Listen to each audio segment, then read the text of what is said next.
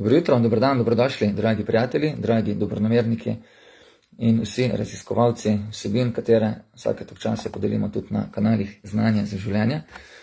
Za danes sem si izbral eno, eh, predvsem iz mojega zornega kota, lahko temo, eh, katere naslov je Lasnosti, vloga in luksus plemenite žene. Zakaj lahko temo? Zato, ker lahko lušno je govoriti o tem, kakšne so naloge, kakšne so dožnosti nekoga drugega.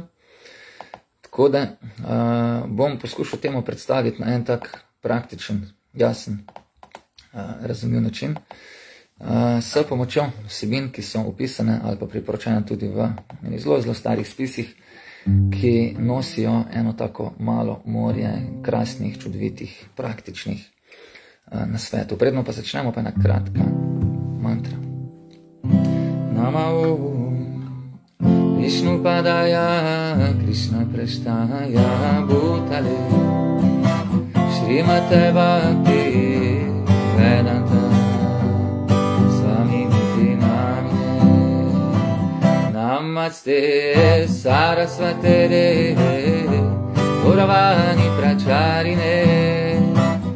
निर्विशेष शून्यवादि पश्यत्याः दिशतारिणे Shri Krishna Chaitanya Prabhu Nityananda Shri Advaita Gadadhara Shri Vasadi Gaura Bhakta Shri Krishna Chaitanya Prabhu Nityananda Shri Advaita Gadadhara Shri Vasadi Gaura Gora Bhakta Vrinda.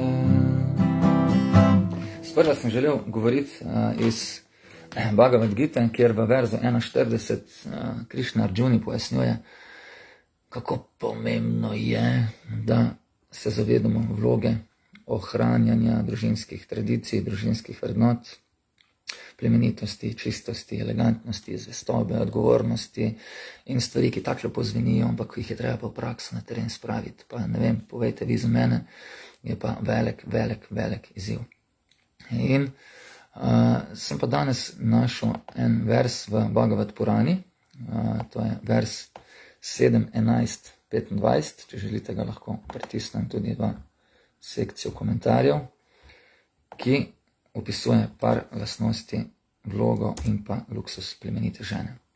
Sanskrit pravi pa takole. Om namo bhagavate vasudevaja, strinam čapati devanam tačču šrušanu kalata, tad banda švanu vritišča nitjam tad vratad haranam. Prevod slovenski. Doprinašanje oziroma služenje možu. Biti prva, biti vedno favorably disposed, se pravi, biti vedno nekako pozitivno nastrojen do moža, biti vedno, to be equally well, well disposed toward the husbands, relatives and friends, biti vedno enakovredno dobro nastrojen do prijateljev in do sorodnikov moža in slediti za prisege moža. To so štiri principi, ki naj bi jih sledile ženske, ki so opisane kot plemenite. Glede, plemenita, mene pred, pred uh, leti en prijatelj poslal pismo, pravi plemenita oziroma čestita hrvaško. Kakšen bi bil prevod slovenski za besedo čestita, imate kako idejo? Jaz včasih sem tudi v literaturi opisal plemenita, čista se včasih malo bolj smatra kot ne, to je nekdo, ki je glih kar stopil izpod tuša. Ne, verjetno bi bil najbližje čista, Ampak biti čestit, to je v vedah je opisano, da je najlepša lepota ženske je v njeni čestitosti, se pravi v čestiti in pa v plemenitosti. Bolj kot je ženska takšna, srmežljiva, plemenita. Srmežljiva ne pomeni, da ima nizko samo podobo, to pomeni, da je preprosto rezervirana, diskretna in pa zavestna vseh svojih čarov in pa moči. Da ji to daje resnično moč. In zato rekli, čakaj malo. Uh, ja, in da ni čestitost samo to, da je nekdo, recimo, mlad, častna, wow, Sabina, kje si, daj mi to poveš. Jaz že dve let, tri let se knjige pišejo, častna, wow, lepa beseda, častna, res lepa beseda. Če spet, mogoče ni čist ne zadane prevoda, ampak nima veze. Hvala za, za tole. Je, da čestita ne pomeni samo nekdo, ki ni bil še z drugimi moškimi, ali pa ki nima izkušnja na teh področjih, ali pa ki je mlad. Ampak predvsem, vidite, tukaj so štiri lasnosti, ki pišejo častno ali pa čestito žensko.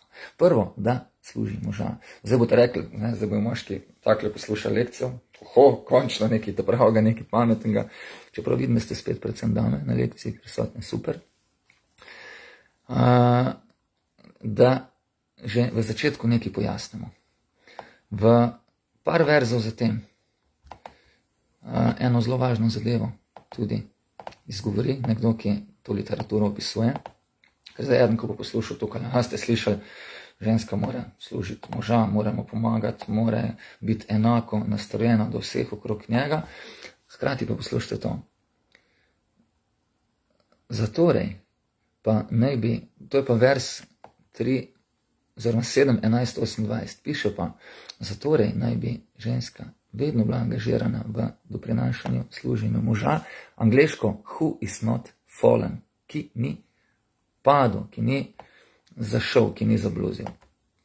In, ampak pojmo po vrsti. Zelo prvo, biti, doprinašati možo. Vidite, mi velikrat kontriramo, vsak svojo smer. Rine, zdaj to rekli, ja pa mi jaz si tako različna, zato je pa tako priporočljivo že v samem začetku odnosa jasno začrtati cilje, da vemo približno, kam gremo, da ne bomo potem mislili vsak v svojo smer. Ne, on, ne, v eno, jaz v drugo in bomo se na račun tega vrteli v, v krogu. Pravi v komentarju pravopad, vsak uh, prepir v povezavi s tem, kaj moški sledi, kaj pričakuje, bo uničeval družinsko življenje. Zato pravi Čanakja, komentar, uh, ko ni prepirov med možem in ženo, se boginja sreče avtomatično naseli v tistem domu. Uh, ženska izobrazba naj bi bila uh, prilagojena vsebinam, ki so opisane v tem verzu. Najboljši princip za plemenito, čestito in začasno žensko je biti vedno pozitivno uh, disposed, nastrojen do njega moža. Glede, če ženska stalno krega moškega. Kje si bil spet, ti pa ta tvoja družba, daj se pohodimo, vse kaj pozdrav, ko se pride. Ma, moški samo dve opcije, doktor Ruza v tem piše in iz vlastne prakse lahko marsikaj vidite. Prva opcija da postanemo nikakvi, ne? da postanemo mali psičeki, drugo pa je, da postanemo pa, da pa odidemo, da skliznemo. Zato, ker atmosfero v domu v ogromni meri predvsem dame ustvarjate, ker imate izrazito močno psihično, mentalno energijo ekstra močno vpliva na vse to. Jaz pa razumem, da vam je težko delovati, če nimate poleg sebe stanovitnih, stabilnih, zanesljivih, predanih, srčnih moških. In da ne bomo zdaj, ja pa jaz pa nisem ta zgnajdla, lete, če niste dobila kvalitetnega ali pa res izrednega moža, dajmo narediti takšnega z njega. Dajmo ga narediti. Ne? Ampak ne tako, da bomo samo njega štemali. Preprosto, zadnjič ena gospa reka na lekciji, da ne moreš moškega spremenjati. Lahko ga spremenjaš, ampak tako, da sebe spremenjaš. Da svojo, svoje postopke spremenjaš in na tak način avtomatsko spremenjaš tudi moškega. Uh, Bhagavad Gita 41, iz tega verza sem sprva želel brati, je rečeno, strišu duštašu varšneja džajate varna šankaraha. Tudi moj prej na Facebooku objavil citat o neželenih otrocih, ki je, ki je uh, prepis iz knjige uh, Ženske in moški, oziroma iz knjige Zvoja motiviranih, zdravih in odgovornih otrok. Pravi, da uh, če so ženske zavedene, tukaj je izraz polluted, ne, bo prišlo do varna šankara populacije. Veliko vas poznam, veliko ljudi poznam. Včeraj smo na temo osamljenosti, samopodobe, samozavesti predavanje. Ogromno mladih, ki ima hude probleme v mladih letih, ki ima hude probleme s samozavestjo, samopodobo, z zadovoljstvom, z, z razumom, s psihičnim zdravjem. Je to povezano s tem, da niso ali pa nismo bili na svet povabljeni kot plot nekega odnosa, ki je res baziral na predanosti, na zadovoljstvu, na medsebojni povezanosti, na iskrenosti in pa na zavestni želji v svet nekoga povabiti, ki bo ena taka lepa, fina, plemenita, poštena oseba. In pravi naprej, v sodobnem času so otroci iz kategorije varna šankara. Uh, vidite, v šolah dan danes, jaz verjamem, da je crka 70% otrok takšnih, neželenih otrok, kar se kaže potem nasilje v šolah, kontriranje učiteljev, nezdrava tekmovalnost, uh, hipi, potem danes je predvsem iz drug izraz emoti, ne vejo, kam pašajo, doma starši si ne vzame časa za njih, ki ne sledijo nobenih načel, pravi. Drug, druga razlaga je tega, da je uh, populacija v tej kategoriji, ko nihče ne ve, na kateri platformi je. Varna šrama sistem ne bi, se pravi, sistem popolne družbene ureditve, bazira na tem, da ne bi bili, da imamo ljudi, ki so v grobem znotraj štirih skupin različnih. Eno so učenjaki po naravi, druga so menedžeri, vodje, lideri, tretja so trgovci in pa četrto delavci, praktiki.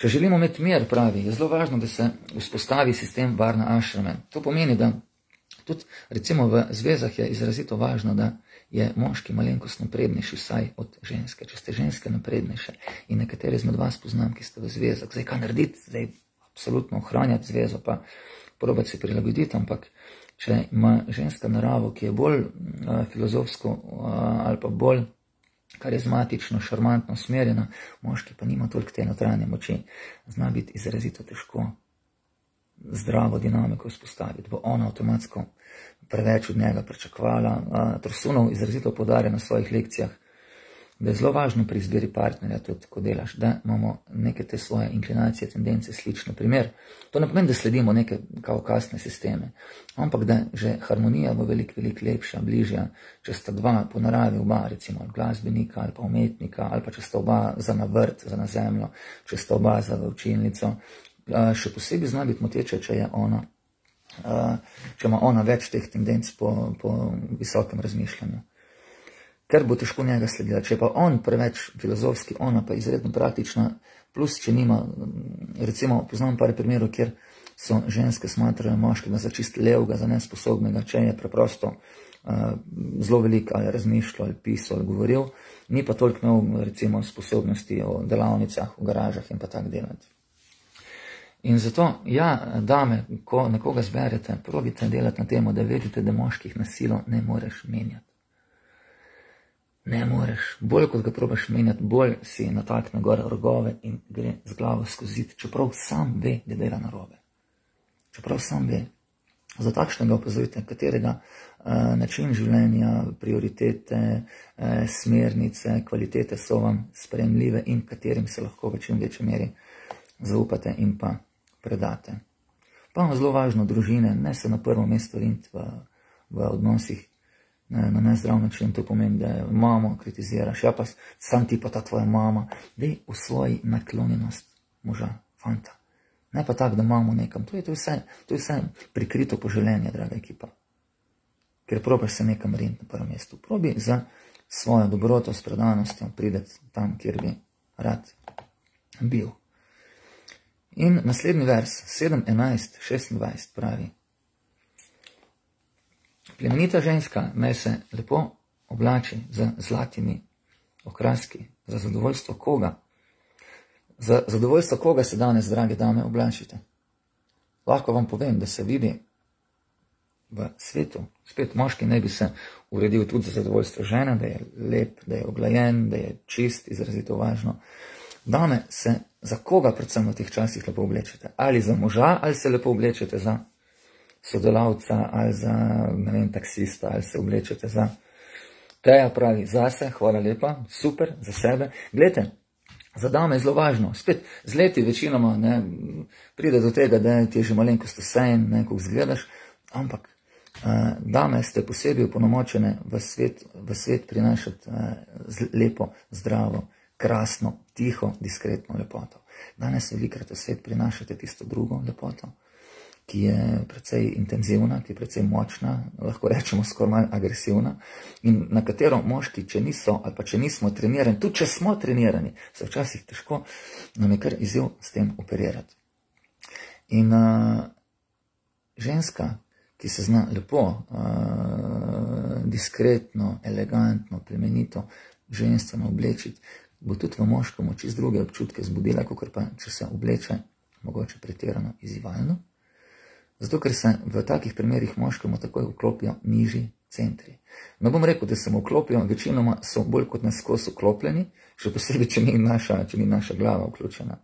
Moški deluje večinoma, se pravi, dame delujete večinoma iz srčnega centra, moški pa iz ostalih dveh, ali iz zgornjega ali pa iz spodnjega. In zato sta nam lahko veliko pomoč. Spet moški moramo trenirati to, da znamo srce odpirati in pa da znamo glavo koristiti, pa da znamo dol preusmerjati energije. Dame ste nam lahko pa veliko pomoč pri tem. Ne v obliki tega, da boste veselo se smejali, ko vidite, kako gledamo za vam, kako se kdo v kandelabre zaletava, ko za vami gleda, ampak v obliki tega, da probate pogledati, s čim je bil kdo izmed nas opolnomočen in kaj lahko naredi za to, da, bojo, da bo svet lepši, bolj povezan, da bojo družine močnejše, ker sploh uh, dame, ženske ste, ste temelj osnove, temelj družine. In kadar uh, ženske niste pravilno tretirane strani očeta, ki zna vas lepo čustveno že v mladih letih vzgojiti, ki zna za vas lepo skrbeti, ki zna finančno, emocionalno uh, potrebe zagotavljati. Uh, enako kasneje, če niste strani moža na tem področju lepo preskrbljene. To pomeni, da imate enega, kjer ga spoštujete. Zelo, zelo važno za vas je, da imate moškega, ki ga lahko spoštujete. Zelo važno. Za moškega pa pomeni spoštovanje, veste kaj? To, da ga poslušate.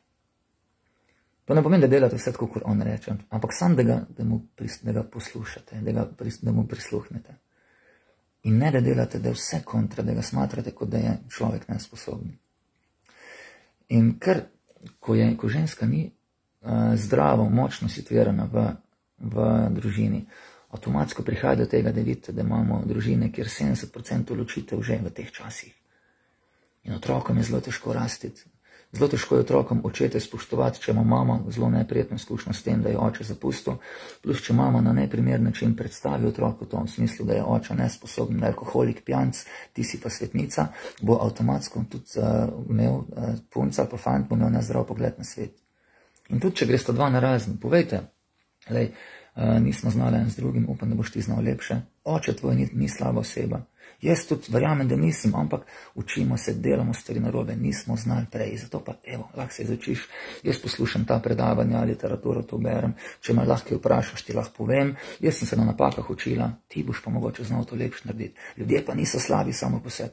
Slabo je, če ljudje na naiven način funkcioniramo. In dajmo tudi to znanje mladim predati. In pa predvsem, draga ekipa, nekdo mora odnose držati skupaj. Ne pravi, da ste samo ženske tiste, ki bi mogli to delati. Ampak dobra, kvalitetna, čista hrana doma drži družino skupaj, čisto okolje drži družino skupaj, umetnost drži družino skupaj, prijetni pogovori držijo družino skupaj. In absolutno mora otrok čutiti oba starša teja. Hvala lepa, vsekakor, vsekakor. In naslednji vers pravi, zato Uh, ja, lete moški rabijo energijo lepote videti. In če tega ne dobimo, ampak ne tukaj lepote, une, ki te, ne, ki te, neko energijo ženstvene lepote. Ženstvene lepote. In če tega ne bomo doma videli, če boste doma cele, ne, ko teta pehta, uh, bo avtomatsko hodil on nekam tam, ne, no, mlado kelnerce gledati, pa na kufetke hoditi zjutraj, pa za šanse naslajati ali pa iskati zadovoljstvo druge v knjigi, katero bom zdaj naprej, če ste za to, bomo tudi imeli občasno ali pa redno zvečer predavanja, kjer bomo pa zvečer malenkost bolj, malenkost bolj lahkotne teme debatirali. Zjutraj malo praktične filozofije, zvečer pa nekaj tazga življenjskega, še posebej za časa, dokler bo, dokler bo epidemija. Povejte mi, ali vam pa še bolj ob sedmih, ob osmih, verjetno en tak zdrav termin kadar nisem na terenu, bom, oziroma kadar nimam webinarjev, bomo pripravili kaj kratkega, če se vam zdi to smiselno. In zato je a, ravno ta, gledajte, moški od ženske ne rabi enega komandanta. Staneta, Benitota ali pa Josefa, ne, Stalina, on rabi preprosto eno tako milo, nežno. Svete rekli pa, ja pa čak, jaz sem mogla delati že za sebe pred devetih letih, razumem, ampak dajmo pozvati, kako. Jaz sem ravno danes razumel za sebe ene stvari, upam, da dojel. Ker ko je človek malo več razmišlja o tem, kaj lahko, kako se prilagoditi na važen primer način, da s tem, kar imaš, lahko narediš največ za svet okrog sebe. Ne pa v obliki tega, da ja, pa zdaj obžaluješ nekaj, pa zdaj tako je bilo, pa če bi tako, pa dej, gremo, ajde, poglej, vsak dan sprot. In vsak od nas naravno željo ima skrbeti za ostale, ne manipulirati ostale. Moškim pa rečem kaj, da noter rekli, jaz zdaj sem nam pamet soli. Opazujte vsako malo stvar, ki jo naredi ženska, ko skuha pohval, ko skuha, ne se pritožvati, ko počisti opas, kak je vse čisto, ko se lepo obleče opas, kak ima, ne, da ima na levem uhanu, da ima na levem ušesu dva, na desnem samo enega opas, ti kak pa to, da imaš, ne, kaj imaš to, kak ritualček ali je to kaj, opazujmo male malenkosti. In začne se pa s tem, da vsak za sebe gleda, kaj, kje imam jaz rezerve, ne, kje jih ima, kje jih ima on, ne, kje imam, kje imam jaz rezerve. In naprej pravi, vedno naj bi nosila čista, čista in privlačna uh, okraske, uh, čistila uh, dom z vodo in ostalimi tekočinami, zato da je cela hiša vedno čista, pure and clean. Izredno važno je za čisto življenje, za odnose kvalitetne, za zavest zdravo, je, da je dom čist. Jaz vidim samo, ko mi začne malo pasivnost, pa malo novo nagajati. Slaba volja, avtomatsko vem, aha, prva, kar je, počisti stanovanje. Počisti, predno gre spat, ne bo vse čisto, kot liček, čist, oblačila, obvezno, vse, kar imaš na sebi, vsak dan čisto. In tukaj vidite, moški nismo toliko zato, preprosto, zato, ker nismo trenirani. Zanj sem prijatelj rekel, da gre za tri mesece pa pol v vojsko, prostovoljno. Sem rekel, zanimiv, ne, redko slišim, kaj je ta zga, star 22-23 let, zelo inteligentna oseba. Gre rekel, hočem se naučiti, hočem se naučiti poslušati, hočem se naučiti, da bom stalno jaz nekaj v svoji glavi, da mi eden nekaj pove, jaz to naredim, to je to, da bom znal tudi jaz nekje nekoč kasneje ene stvari voditi. Zelo, zelo važno in tudi to pri moških, pri fantih, drage dame, od malega vzgajajte to, da eh, si za cilje prizadeva. Ne iz fantov punčke delati sentimentalne, preveč senzibilne. To naravno pride s časom. Učite nas usmerjati k ciljem in ne probati moških na svojo kiklico, na svojo bedro vezati ali pa na dekolte, ampak jih vodite v to, usmerite jih v to, da bojo delali neke misionarske, lepe, krasne, plemenite, pobožne, srčne, inteligentne, velikodušne aktivnosti. Ker ko bo moški to delo, bo avtomatsko zelo, zelo, zelo samozavesten postajo, privlačen postajo, zadovoljen postajo in vam zanimiv. In v končni fazi tudi finančno podprt, če se bo na lep in inteligent način organiziral. Pa delite na tem, da se zavedate sploh tega dame, da stri pomeni sanskritom. Nekaj, kar redno širi, ekspandira svoj vpliv želja. In danes verjamem, da smo se tako, večina nas zapletli. Vidim, sam sem zraven v isti kategoriji skoraj. Da predvsem neko to materialno stvar ekspandirati. V smislu, ja, pa rabimo veliko hišo, pa rabimo ne vem kaj vse, pa rabimo to. In to ni nič, drage, ki pa res. Mi rabimo v prvi fazi veliko srce, rabimo v drugi fazi nekaj za pojest, pa za spit, absolutno se strinjam. Tretje, rabimo zdravo, kvalitetno hrano. Četrto, rabimo jasen, oster razum. Peto, rabimo jasen, visok cilj v življenju, pa šesto, rabimo intenzivno, kvalitetno, praktično sveto vodstvo. To rabimo. Vse druga pride samo po sebi. In da je tudi tukaj promat to ozavestiti, da je narava, še posebej evo, poprečnega ženskega uma v tem, da naravno poskuša ekspandirati svoj vpliv in pa materialno obilje. In da je to drugam preusmerjati. Namesto, da probamo materialno obilje širiti, dajmo probati širiti energijo dobrote, energijo nege, energijo skrbi za ostale. To je to.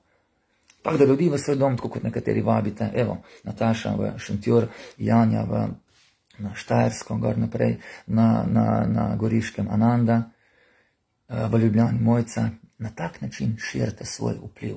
Tako da družino povečujete v obliki zabote, reče Rusi, v obliki skrbi za ostale. In to je najmočnejša moč žensk, materinska energija. Ampak ne materinska z valerjem, pa kje si ti fantek, lepo si prišel na naše druženje danes, star 25 let, ampak kot mama prava, tako da veš, kako z njim delati, da bo lahko postal močen, samozavesten, odločen in pa, in pa zaščitnik, zaščitnik Posebej zdaj, posebej zdaj, pravi Ines, ko imamo ženske to priliko, moramo, se moramo organizirati na druge načine, kot smo bili vajeni do sedaj. In zato sem vesel, evo, da se cela garda modrih, svetih ljudi uh, povezuje.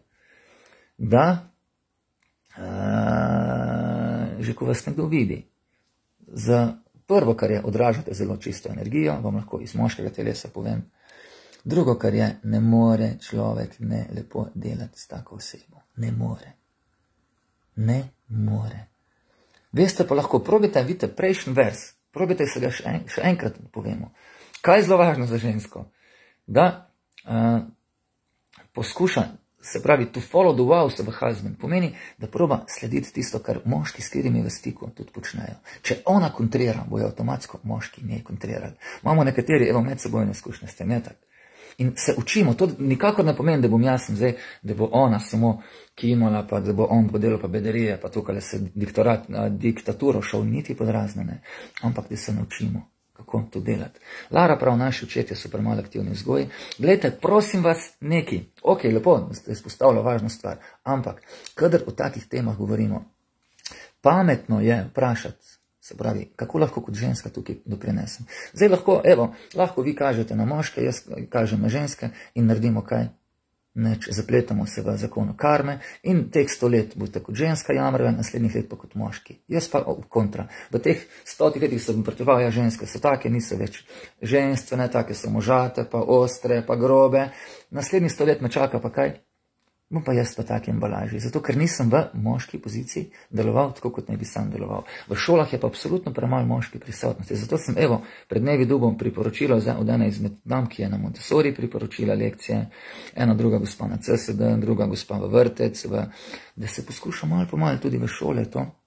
In evo, popolno danes smo z eno šolo, celo popoldne seminar za učitelji tri ure.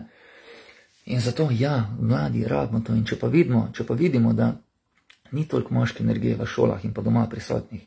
Najdite osebe moškega spola. Jaz lahko, evo, uh, direktno povem, ničesar nikoli ne zahtevam. Če ima kdorkoli željo biti v stiku, od spoh, če so to fanti, recimo otroci, pridite, gremo malo na koš, na ta gremo na sprehod, malo kitaro, malo po telefonu poklepetati. Nobenih zahtev, ni treba nič plačevati, draga ekipa.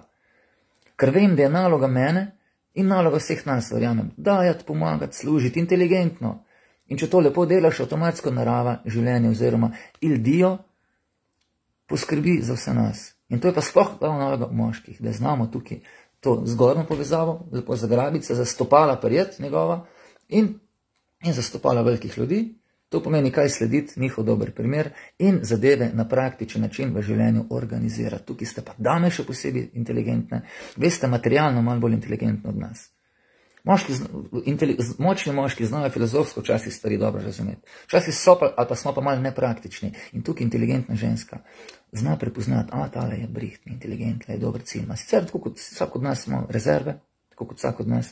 In ve znate pa to materialne aranžmaje narediti lepe.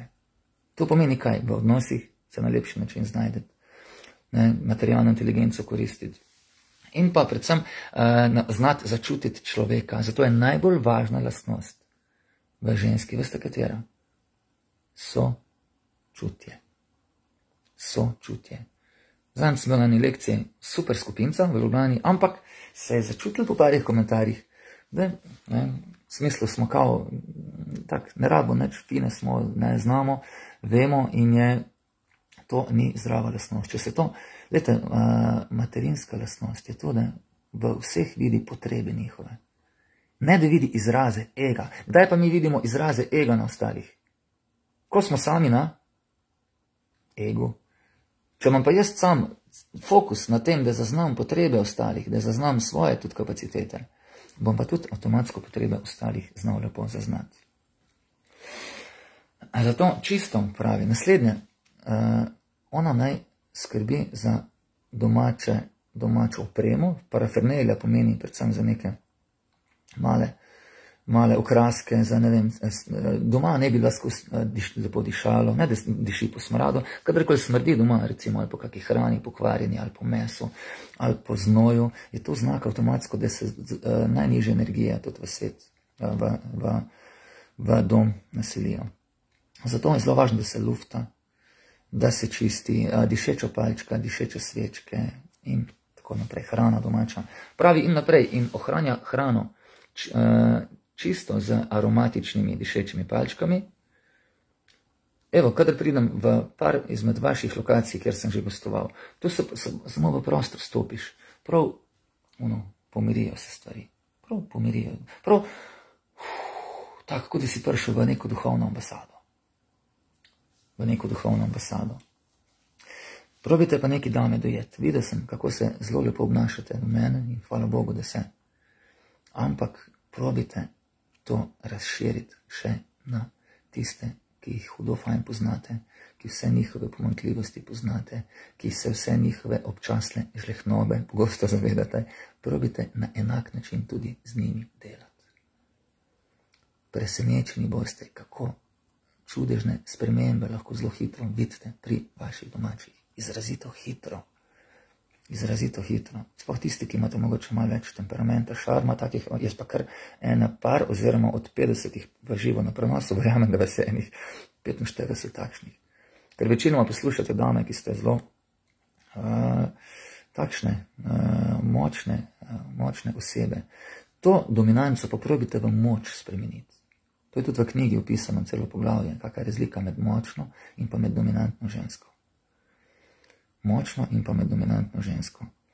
Ker se, lete, vedete, neki moški ne bo nikdar želel biti podrejen ženski. Čelo, celo v službi, ko je ona na poziciji višji, moška narava tako funkcionira da ne bo nikdar želel biti podrejen ženski. Dame si nas na drug način podredite. In to je prava znanje. In moški bi se po jarkih, po frontah plazil, samo da bo skrbel za nekoga. Večinoma vsi razen redkih psihično bolanih moških. Večinoma so vsi taki. Nekdo je zapisal, je pa žalostno, da. Mm -hmm. Samo da najdem ta citat kje pa si zdaj. Ko svojega otroka vidiš, kako trpi, ko ni pravega odziva, je pa do tega zaključka prišel. In zato pa, draga ekipa, vidite, to je pa moška naravna lastnost, nevezanost. Moški pa s tem uh, inspirira okolico. Ker danes ste naravno bolj na čustvih, to pomeni vezanost. Moški, ki pa je inteligenten, razumen, izobražen, bo pa avtomatsko delal tisto, kar je treba. Vedel bo pa, da ti je težko, da trpijo domači, hkrati pa veš, da vsak od nas se samo odloča za ene stvari. Jaz druga, kot kar nekje pokazati, usmeriti ali pa živeti da ne morem. Vsak od nas ima največji dar, to pa je svobodna izbira. In zato je pa treba skozi duhovne oči gledati na življenje, draga ekipa. Bolečina je nujna, trpljenje pa ni nujno. Jaz ravno zadnjih par dni predavam knjigo Prosjak, Beggar. Močna, močna knjiga za kruto iskrene za kruto iskrene. Zelo priporočam. Literatura Bhakti Tirta Swamija, draga ekipa, brez toč dobre kvalitetne hrane. Vidite, če nimate poleg sebe, drage dame, moških, ki so izrazito močni duhovno, berte, bodite v stiku z literaturo oseb, ki vam vse tisto lahko dajo, kar bi sicer naj dobili od moža. Dobite to od učitelja. Včasih so bili moški naravni učitelji, pa guroji doma. Danes Ne, poskušamo biti, ampak eh, nimamo, ne kažemo kvalitet tega, zato se tudi nikogar neč ne prime. In če vidimo, da se pravi, imamo potrebo po tem, da nekaj lastnosti razvijamo, najdi osebo, ki ima to lastnost in se ga prim. Ne za bedro, obsedeno, zaljubljena, ampak se prim sporočila, ki se nosi preko teh oseb. Sporočila se prim. In uh, zato, ja, kaj pa narediti, se pravi, če vas mož blati, tukaj tudi inteligentno je, kako reagirati? Dobro vprašanje. Če boste kontrirala, kaj sem ti pa naredila, kako se pa obnašaš kot tak otrok, bo avtomatsko blatil še bolj. Probajte neki drage dame dojeti, da so solze ena izmed izrednih orodij žensk. Solze, izrazito močno orodje. Ko vas blati, žalost pokažite, ne zato, ker vas blati, ampak zato, ker se same sebe probate vzreti, pa pogledati, kaj tukaj, kaj, sem, kaj narobe delam, da se tako obnaša do mene. Kaj sem jaz narobe naredila, kaj, sem, kje, kaj nisem prav delala, ker vem, da ni, ni slab človek. In če boste tako delali trajno, boste videli, dragi dame, jaz sem pripričan, da se pokaže sprememba. Dokler pa njega za nekaj kriviš, da nekaj narobe dela, avtomatsko se zna zgoditi, da bo ta celo življenje vaf, vaf, ne, lajala en na drugega. Lajala en na drugega. Družina je svetišče za me, pravi nekdo, in ves moj svet in harmonija, ki jo imaš doma, jo lahko prenašaš v svet, čudovito, krasno. Tako da naslednje stvari, ki jih, ki jih priporoča. Uh, Leta tudi na predavanjih vidim, ko začnem govoriti o dožnostih moških, moški me kar tako malo grdo gledajo. Kar težko slišati. Ker večinoma sploh mi se učimo skozi lastne napake, kar velikrat Facebook boli, vam lahko iz prakse povem, ampak preprosto. Uh, najtežje slišiš direktno sploh od dane doma, od žene, od mame, zelo, zelo težko. Če nisi tega dubo v zgodnih letih, kasneje je zelo težko. Je pa mogoče se pravi va, z lepim pristopom. In naslednja, in naj bo pripravljena izvrševati želje njenega moža. Ste rekli, o, to ne moramo pa moški poslušati. Lete, uh, moški ima glavne, glavne potrebe nas, so ščititi nekoga, so skrbeti za nekoga. In uh, če ženska nekako proba eksterno pokazati moškemu, da mu je na razpolago za neke stvari, večina moških ne bo izkoriščala take osebe. Še posebej, če je oseba čestita, plemenita, Tega pravi, kaj delam narobe, krivdo vališ nas, to ni dobro, ker izgubiš še tisto dostojanstvo, ker draga ekipa, tukaj je razlika. Med nizko samo podobo pa med zgubo dostojanstva. Tukaj je velika, velika razlika. Če vidiš, da imaš človeka poleg sebe, ki te gazi, ki te skorišča, ki je žleht, poleg take osebe dejansko je težko delovati. Če imaš pa človeka, ki predvsem iz ega svojega deluje, zato ker je zaradi negotovosti, zaradi neprimerne komunikacije, pa v takih, to sem v knjigi opisal, ta ste brali knjigo ženske moški. Preberite, prosim, knjigo. Ni treba kupiti, sposodite si jo, da note rekli, da si promocijo delam. Poslušajte lekcije Olega Tursonova. Probite nekaj dojeti, da moški ne more, ne zdrži take bolečine. Če čuti, če vidi, da je ženska njegova trpi zaradi njega ne more, ne prenese te bolečine, razen psihičnih bolnikov, kjer imamo pa vpliv resnične žlehnove ali pa norosti, drage dame, tukaj pa upam, da oddaleč vidite take moške. Pa res naredite korak nazaj, že v samem začetku. Zato je zelo važno, da naučite se primerne moške opazovati. Krivdo, ne pravim krivdo, nikoli valiti na sebe, odgovornost valiti na sebe. Vedno smo oba odgovorna za vse, kar se dogaja. Ampak dokler ti mal kriviš moškega, boš avtomatsko v tem njegov ego zbujala. Če boš pa ti si probal malo sebe zazret, pogled, kje sem jaz tukaj ga pobiksala, kje je moja odgovornost, boš pa v 95% primerov s tem v moškemu pamet vključila, ki se pa ne bo vključila takoj, ampak čez pol urce, urco ali pa en dan. Tako to gre. In to, draga ekipa, je dostojanstvo. To verjamem, da je dostojanstvo če mu podopoveduješ, ja, ti si bil psihologi, terapeuti, pogovori, tarife, odvetniške službe, totni grobari, pogrebi. Če ne znamo tukaj lepo delovati. Glede, probite nekaj dojeti. Jaz tega ne govorim zato, da bi, va, da bi vas programiral, kako delovati, da bom, da bom en z vami la, lažje delati. Iz, iz moškega telesa, upam pa verjamem, da nisem žleht, da se to čuti, vam poskušam pokazati, na kak način moška mentaliteta deluje. Ne zato, ker se meni tako zdi po teh 30 letih izkušenj, ampak ker modrost natančno probam preučevati.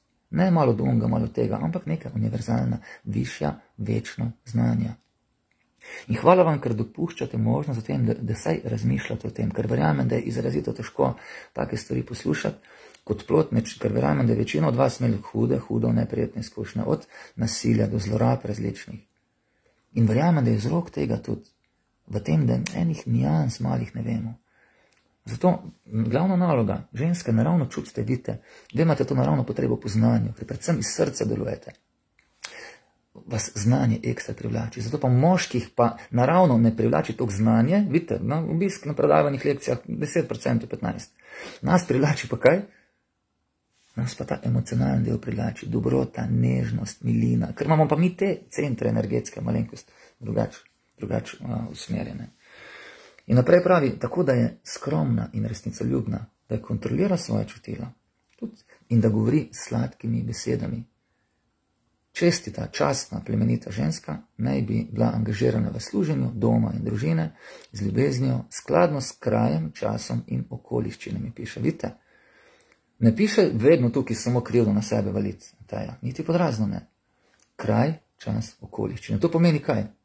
Če vidiš, da jaz postanem mal smotan, hladen, nezainteresiran, kako takšnega moškega služi ženska? Tako da za dan, dva, tri gre k babici na obisk.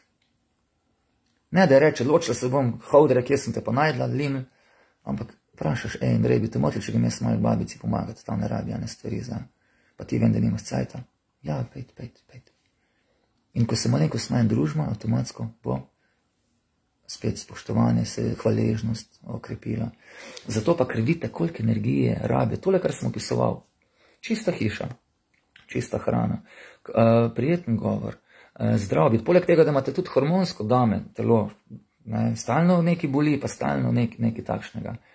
Je, uh, je, to so ure in ure in ure dnevnega dela. To so praktično deset ur na dan človek na tak način funkcionira. Deset ur na dan. Zato verjamem, da je deset urne službe, sploh nekje, ker vam niso stvari blizu, in pa srečna družina ne gresta skupaj. Če delate v službah ogromno, če nimate ali pa če imate enega otroka, mogoče do neke mere še gre. Če pa želite, da bojo zadeve fejst močno povezane, pa ne pravim, da ni službe, ampak da je za malenkost krajši čas, kot to počnejo danes večina vas. Sabina pravi, da te ne more zanimati znanje, če ni znanja dobrote, nežnosti, zatroštva. Najprej to pozdravite. Absolutno, draga dama. Zato sem pa začel lekcijo s tem, da se začne tako, da ste dame od samega začetka že podprte, zaščitene, preskrbljene, da travme različne sploh ne pridejo v poštev. Ker dame avtomatsko še veliko globlje vse napram moškim doživljate. Jaz vidim, jaz imam kako neprijetno izkušnjo prihajaš kar nekaj časa k sebi. Če je pa dame, pa praviloma še veliko globlje doživljate, žalost, razočaranje, bolečino in je zato še ekstra težje to narediti. Zakaj pa, pa te stvari govorim, vidite, da se izogibamo besedam, kot so krivda in vse povezano s, s, s podobno mentaliteto, da prevzemamo odgovornost v življenju. Da vidno vse, kar se neprijetnega dubo. Ljudje, ki so me fejst, fejst, ki so mi dali evo, lekcijo močno, nikomor ne zameriti. Preprosto puščati, hkrati se lekcije učiti, pa vedeti, da nisem za brez veze v tej situaciji bil postavljen, da je moje življenje nek širši kontekst. In sploh dame več trpite, vede učijo, da uh, duša v ženskem telesu odživi, v veliki meri karmo, da v moškem telesu jo pa ustvarja. Kar se vidi na lekcijah, 80% dan posluša, 20% moških posluša. Ker moški na naiven način brez znanja ustvarjamo neugodne stvari, večino, večina nas dame pa trpite veliko bolj od nas. Zato se tako priporoča, vidite, ignorirati, kaj imajo kot moški zadelati. Pozabi to, to te ne zanima. To ti točno veš, kaj imamo mi zadelati. Ja, tako. Vidite, moški pa točno vemo, na kak način, kaj pa naravno od dame pričakuješ. In pametne osebe tukaj lahko na en res, res lep način, en z drugim se naučijo sodelovati. Zato kako pa te zadeve pozdraviti, v ne pričakovati, da ti bo mož terapeut, sicer super je, če ti on pomaga pri tem. Ampak prevzemi tudi za to pobudo, pa išči, raziskuj. Razis, bod pa previdna pri nezdravih navezanostih, sploh če si kot dama, če imaš recimo moške terapeute, psihologe, učitelje, uh, moraš biti zelo inteligentna, da nezdravo ne ogrožaš domačega intimnega odnosa. Ker so tukaj energije zelo, zelo, zelo, zelo, zelo, zelo, zelo, zelo močne. Kaj pa, če je čustvo nedostopno? Silva, preprosto, kaj odpira srce vaše? Kdaj se vi odprete? Jaz sem bil v večjih evo, družbah v predleti, kjer ko prideš okrog ljudi, naravno neki ti ne da, da bi se odprl, neki ti ne da. Ko sem na klepetu v kavi gostoval in tudi čas, imamo seminar za njih, malo daljši, je ena gospa klicala, prav, meni se bo spipal, meni se bo zmešal, pravi moj, je čustveno nedostopen, ne odpira se mi. Pa sem si mislil, da jaz se ti tudi ne bi odprl. Če nekdo v tebe posega, če nekdo v tebe nekaj zahteva, odpreš se kot rezultat dolgotrajnega zaupanja. Plus neki vedite, da moški praviloma ne bojo želeli vam odpirati neprijetnih emocij, ker vede, če vam bo preveč jamro, če vam bo preveč stoku, bo uh, nekak dinamika se spremenila. Boste preveč v poziciji mame stopili k njemu. Zato kaj narediti? Tukaj probati na inteligent način aranžirati uh, dogodke, da lahko se okrepi na področjih, kjer bi rada uh, to videla. Lahko mu poveš, všeč mi je to, da si tak, da se, da se s teboj da vse pogovarjati. Čeprav on ve, da se ne da z njim vsega pogovarjati. Všeč mi je, da znaš tako lepo čusti delati, čeprav on ve, da ne zna lepo čusti delati. To vidite, drage dame, to hočem podariti, da na tak način nas kot ženska lahko neverjetno učite. Sam to morate pa dejansko čutiti. Če boš ti neki z nekim posmehom pa slišala eno afirmacijo, zdaj to nekomu rekla, bo takoj čutil pa rekel, le, kaj tam neki bluziš, kje si to slišala, kaj tam neki pereš. Ne moreš prevarati, niti podrazno neč. Zato kaj delati, draga ekipa, čustveno inteligenco lahko predvsem v veliki meri nas ve v dom upeljete. Ve. Kaj to pomeni, da ve čustva izražate? Zdaj pa, če se ne želi pogovarjati, na lep mir način čustva odpri. Takrat, ko se tega, ko se tega pipa, pet v hosto, pet na vrt, pet v folkloru, pet v templi, pet v cerko, pet na pet, nekam pet kričati. Ko prideš pa k njemu, ne prideti za neprijetnimi emocijami k njemu. Ampak na lep način povej, dober, kak si Andrej, kak si danes predavanje, šlo vse ok, skilač. Drugač bo avtomatsko moški se, sploh če nismo, nismo bili trenirani in ker je tudi marsikaj od nas malenkost poškodovan iz odnosov z damami.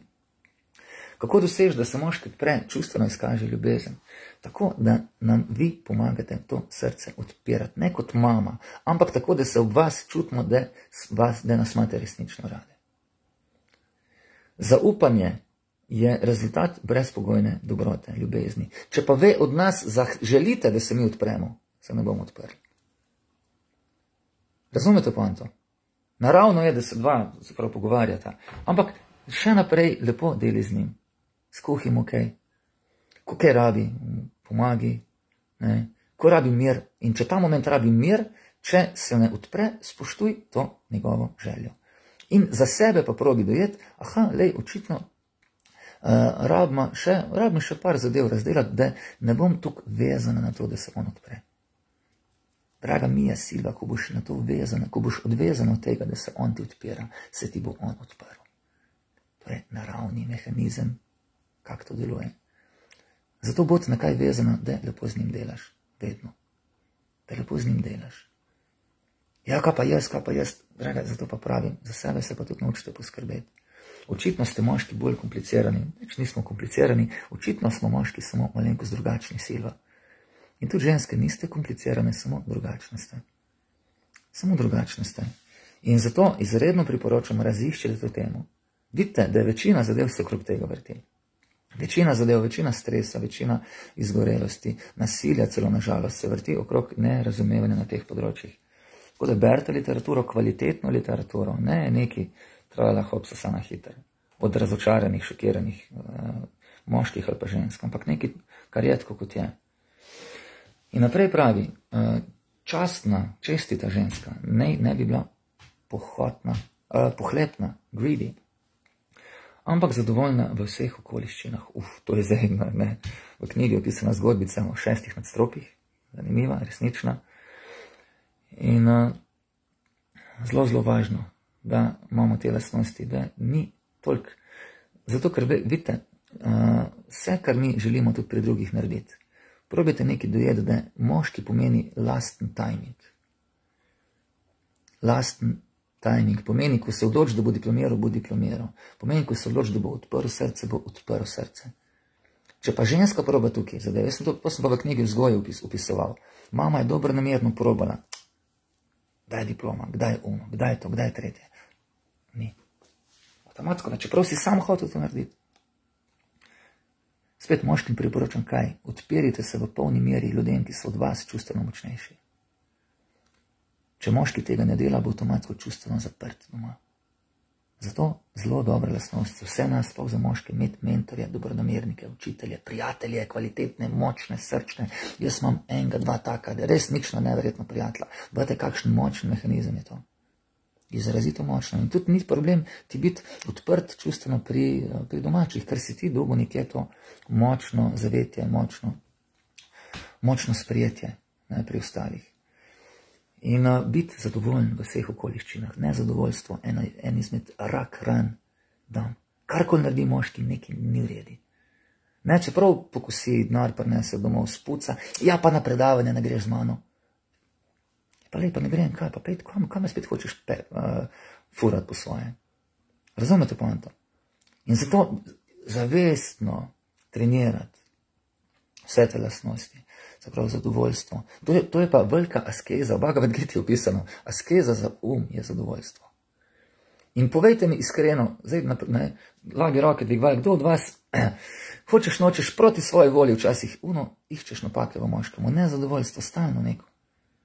Zihar je kakšno takšno, zihar kakšno takšno. In zavestno vsak dan se spominjati, kaj vse naredi za mene, koliko lepih stvari mi pove, koliko uh, vlaga energije v otroke, v kam. In če ne boste, ko ne boste od nas nič rabile, draga ekipa, takrat boste od nas dobile vse. To je moška narava. Če nič ne rabiš od nas, dobiš vse. Če pa rabiš od nas, da te nekam 50 odpre, pa da bo pa mogoče to narediti, ampak z odporom. Z odporom. Z odporom. Ona ne bi bila naslednja nadaljevanje verza, velik ekspert v in handling household affairs, v urejanju domačih um, stvari. To pomeni, vidite v pogovorih, kako moškega odpreti, kako hrano pripraviti, kako se sorodniki obnašati. Ekspert, to zahteva izobraževanje. Jaz se deset let izobražujem v področju tem, kar predavam, pa še vidim, da marsikaj ne vem. Marsikaj, ali pa predvsem ne znam. Vem, mogoče do neke mere že vem. In tukaj dame tudi, včasih so prvih deset let, ne, pončke niso, prvih petnajst, niso jih vzgajali o, ne vem, biologija, kemija, fizika. To ni nič narobe, če to veš. Ampak predvsem vzgajati te stvari, ki jih, ki jih zdaj govorimo. In vzemite si čas za to. Vzemite si čas za to. Presenečeni boste, kako se hitro vaši odnosi menjajo, kako so vaše potrebe vse manjše, kako se moški spreminjajo. Kako se moški spreminjajo. In sploh, ker imate tudi hormonski sistem, vidite mesečnico, pa ostale stvari malo bolj specifične, tudi zaradi tega je, si morate življenje prilagoditi temu. To pomeni, da imate več časa za sebe, da imate več časa za počitek, da je več časa za hobije, za dobro družbo. To je to. Ne pa samo tam špajzo filat. To je dožnost moškega, draga ekipa. Materialna eksistenca. In če boste poleg sebe znala ljudi motivirati, sina, brata, moža, hčerko, boste imeli avtomatsko poleg sebe uspešne, močne, samostojne, samozavestne, zaščitniške osebe. Če pa vsako svojo smer rine, doma pa pridemo pol politično, malo en drugega vzajemno izkoriščati, imamo pa izrazito slabotne osebe. Lahke žrtve izkoriščanja farmacije, prehrambene industrije, celo vzgoje in izobraževanje. Spoštovanje absolutno je strje za moškega bistveno. Ne, spet, moški ne bi pa tako delovali, da, uf, kak ste se razpisali, krasno, hvala vam lepa. Da je, zato je zavestno tukaj na to spoštovanje trenirati, ne, da se naučiš ga poslušati, upoštevati, kot se ga da, ne mu direktno kontrirati, nikoli neč, ampak indirektno, tako, v obliki na druge, na druge načine. Ženske ste naredile več korakov za boljše bom na koncu prebral, da ne sodim prehitro. Ženske so naredile več korakov za boljše medsebojne odnose, v zadnjih opažam, da se to spremenja. O, super. In vesela in hvaležna sem za to. Imam dveh čeri in upam, da zaradi tega ozaveščanja, kot je prav tole zdaj prinaša boljše moške, boljše. Bote, koliko moških posluša lekcije, draga ekipa, ne boste, ne boste verjeli. Pred mesecem je klical prijatelj iz Brusla, prav, če bi vedel, koliko ljudi v, v Bruslu posluša tvoje lekcije. Tako jaz nisem nobenega videl, poslancev tega, je rekel, poslušajo. Ampak da me poslušate direktno, vidite se, vključite, komentarji, koliko moških je komentiralo današnje predavanje. Preštejte. Koliko? Nula, zares nula. Koliko ženske poslušajo predavanje? Da me direktno poslušate, ste opažene, komentirate, moški diskretno poslušajo. Zakaj? Ker mi po naravi moški kao vse vemo. In če ženska pove moškom, da poslušaj lekcije, kak ženska pametna mu to pove, hej, jaz vem, da ti te stvari že veš, ampak čas kako tako zgodbico pove, meni to koristi, jaz ti pa tako tako vem, da veš te stvari. Razumete poanto? Jaz vem, da ti te stvari razumeš. Ne? Ampak jaz pa uno, veš, malo sem, se veš, ženske so malo čudno včasih. In ena, ki tako komunicira, moški ne more ne lepo s tako žensko delati. Resnično vam pravim. Resnično vam pravim. In tu, če želiš, da bo, da bo take lekcije poslušal, ne mu direktno, hej, posluši pesca, sploh, če si por... neč me omenjati. Samo imate doma, recimo, knjigco spodi, ne, hej, tole sem knjigo zanč našla, tisti, ne vem, malo, malo pošpela, če ti, če ti ok. Tako da on niti ne vidi, da jo imate, ne, lahko pokrijete z drugo knjigo in bo naravno začel za to. Plus, če boste ve, se vedno lepše do nas obnašali, bo naravno on rekel, ti, ko pa zdaj zadnji cajci, pa nekaj si se, ko pa, je pa tam ene lekcije poslušam, kakšne lekcije. Pa tam enega vidim, da se ne znam niti normalno s tabo obnašati, čas lajem v tebe kot tako otrok. Pa sem začela tam poslušati enega Trsunova, enega, ne, enega tega pešca. In bo naravno oni ne bojo čutili, kar se mi zdaj dan danes dogaja, tudi vam lahko direktno povem, ker da me na neprimer način velikrat prezentirate to, kar na lekcijah govorim. To pomeni, da mene povzdigujete preveč, da me hvalite v pričo vaših. Kaj, kak je rezultat tega? ljubosumje pri moških, zavist, žlehnova celo strani nekaterih. In tukaj spet vidite, lahko vi pomagate pri tem. Povejte, leta pešo, sicer ene stvari lepo ve, vse jaz vidim samo, da na pamet govori marsikaj. Ne, vem, da to ti te stvari razumeš in hvala Bogu, da imam tebe. Vidiš, jaz s taki človekom ne mogla biti niti podrazna, ne vidiš, to zihar kakšna sekta v zadnji, pa to neki to. Ne. In na tak način to naredite. Da, pa, da ne boste pa rabljali igrati, pa same s pomočjo introspekcije, kvalitetne, s pomočjo dobre družbe, s pomočjo dobrote, iskrenosti, da boste res čutili to, kar govorite. In bojo rezultati neverjetni. Neverjetni. Zato naj bi govorila vedno prijetno, pleasingly, angliški izraz in resnico ljubno.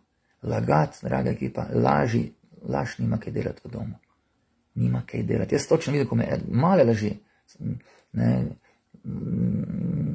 ni potreba potem. Nikdar, nikdar. In naj bo vedno zelo previdna, pravi, careful. Sploh biti previdna, kdaj? Ko je moški, če recimo spije, kdaj kaj, ko je nervozen, živčen, takrat biti previdna, da mu kakšne sočne vsekaš.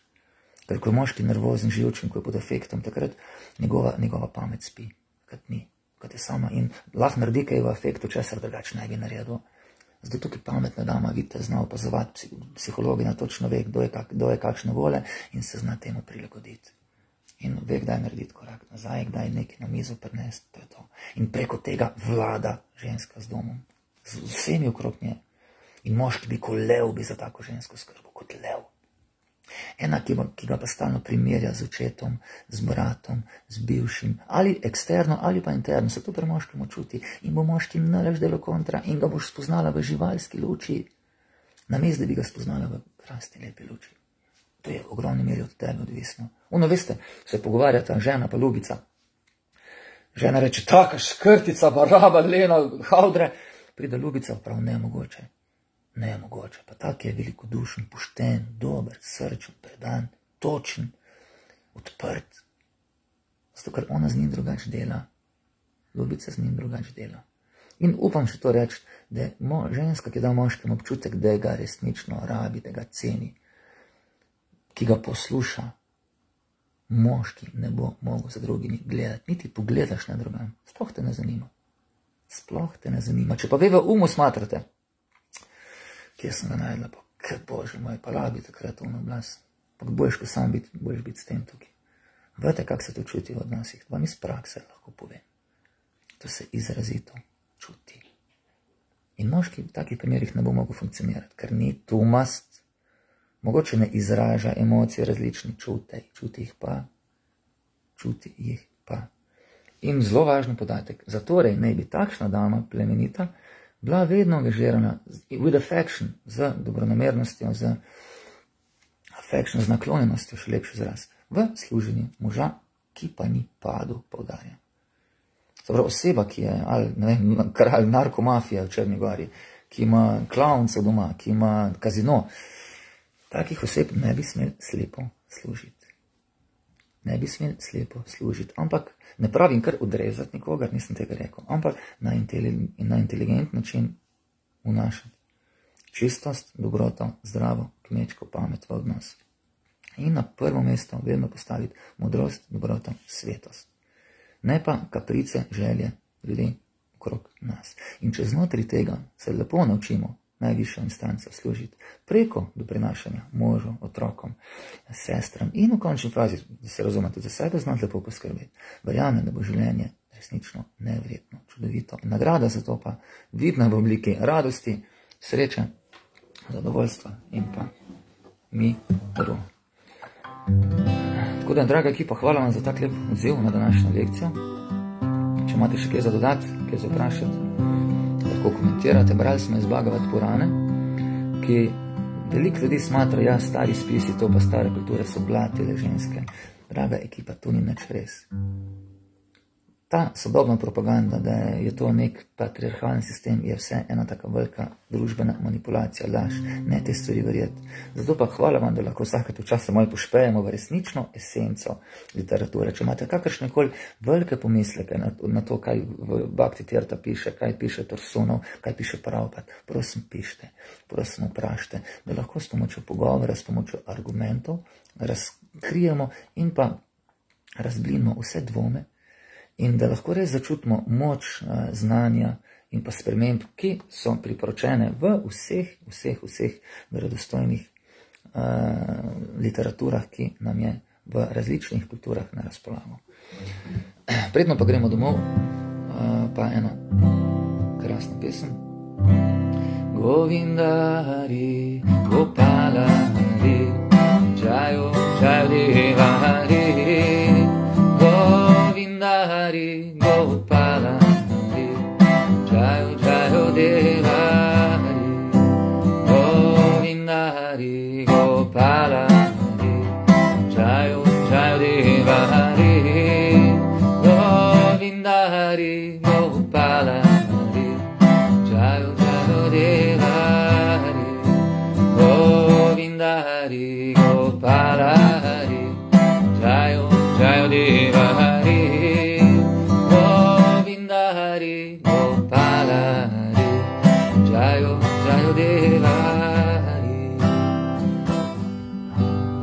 drage dame, eh, na en zelo lep način lahko tudi doma oplemenite še domačo atmosfero, tako da imate tiho, kako tako glasbo predvajano, s tem, da ne je kar predvajati, pa ja, to pa zdaj poslušam, jaz spustno primer, to so zdaj mantre, veš, vpraši sina, vpraši moža, ej, ja bi te motil, vidim, ta glasbo, če poslušam, zelo mi je, ono, sprosti me, pomiri me, da bi te motil, če je čist tiho, ne, Vse, če si zraven, ti lahko je takrat ugasnem, ono, da ne, in bo vsak rekel, dej, sem posluš, če ti pomaga.